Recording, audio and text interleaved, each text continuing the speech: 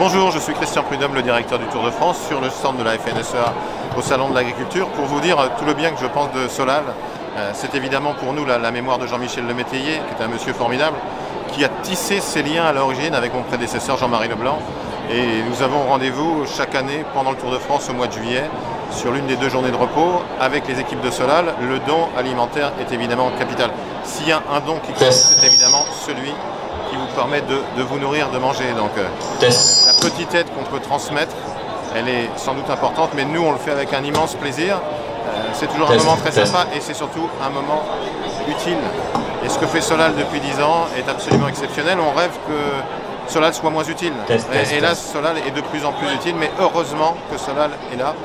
Donc euh, bonne chance à toutes les équipes et puis on sera ravis de se retrouver à nouveau sur l'une des étapes du Tour de France en juillet prochain.